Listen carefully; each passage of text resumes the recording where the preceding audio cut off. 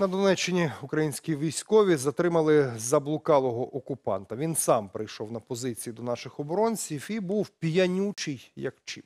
Згодом у службі безпеки повідомлять, той заблукалий, родом із Росії, служив на посаді помічника гранатометника у московицькій окупаційній зграї. Як його затримували українські оборонці, Маргарита Потапова розповість. Такого досвіду затримання, якби коли ворог сам сам до тебе приходить, це був перший досвід. Бармен саме перебував на спостережнику, коли у тепловізорі помітив силует. Просувався в бік е, наших позицій. Рухався невпевнено, тобто ну, хитався, було видно по тому, що він знаходиться в стані алкогольного сп'яніння. За сотню метрів від позиції наші оборонці не помітили у приблуди зброї, тому вогонь на ураження не відкривали. Якщо він би був би зі зброєю, то ми б по-любому застосували вогнепальну зброю. Цьому повезло, що він залишився живий. Чоловіка затримали, йому зв'язали руки і оглянули його. Серед речей знайшли військовий квиток неіснуючої республіки, магазин з набоями до автомата та 6 тисяч російських рублів. То він пасе коров, то він коз пасе, то він прийшов попити кави. На сказати, звернення на слова Слава Україні він ніяк не реагував.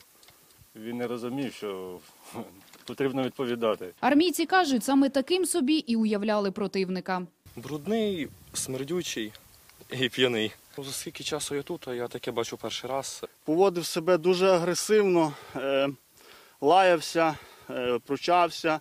Згодом СБУ повідомить, затриманий 42-річний уродженець Росії в лавах окупантів 4 роки. Був стрільцем, потім став помічником гранатометника. На допиті зізнається, служив під керівництвом кремлівських військових.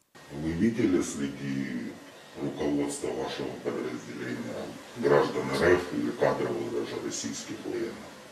кадровых видел. Ну, это там уровень выше, ну, комбаты выше. Військові дивуються, як окупант не підірвався на міні, блукаючи хащами. Я не знаю, як він не підірвався, самому дуже дивно.